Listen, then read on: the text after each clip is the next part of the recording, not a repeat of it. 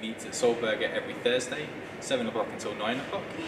Uh, we meet as a group and we all talk about American comics, uh, single issue comics, mangas, and basically anything comic related.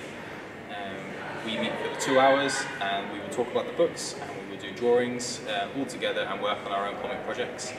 Um, every year we run a comic convention called ComicCon, also at Sølvberget, uh, where we all come together and sell our comics, projects that we worked on here, and our own things that we do outside of Comic Night.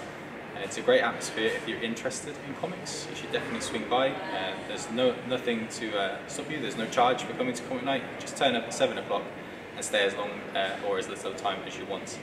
We have a Facebook page, which is Comic Night Stavanger, which has all the information just in case we're not running it one week, and you can just find out everything that we've done for the last two and a half years. Um, so it'd be great if you can come by if you're interested. Thanks.